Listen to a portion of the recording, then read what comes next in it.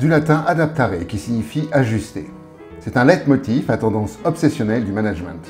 L'adaptabilité est une injonction faite aux subordonnés qui les conduit au stress, au burn-out et parfois au suicide. C'est une prouesse physique et morale qui consiste à porter des vêtements ou des chaussures trop étroits et trop courts. On ne reproche pas aux vêtements d'être mal taillés, mais aux porteurs de ne pas faire l'effort de s'y adapter. L'injonction d'adaptabilité émane de psychopathes en cravate, nouveaux héros de la concurrence mondialisée.